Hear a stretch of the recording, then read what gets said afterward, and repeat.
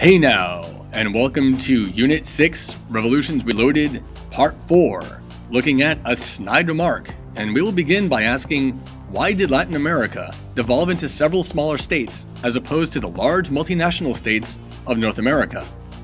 So let's take a closer look at Latin America. They had mostly the same language, which was Spanish. Of course, Brazil was an exception, but they were both Romance languages.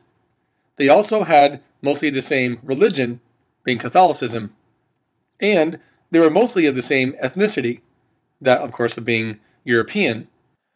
So, why did Latin America fail to come together and unify as mostly happened in North America? Now, the first reason may surprise you, but it comes down to geography.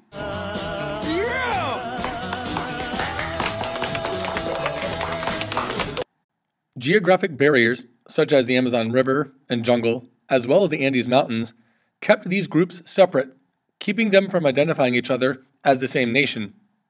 On that note, national rivalries emerged between Mexico, Argentina, Chile, Brazil, and even Gran Colombia that eventually devolved by 1831. Leaders in these states sought more power for themselves and competed against each other, generating animosity and preventing widespread unification. Even within the countries, economic rivalries emerged, pitting the interests of the rich elites, who were mostly urban, versus the poor common people, who were mostly in the rural regions. Social rivalries also emerged.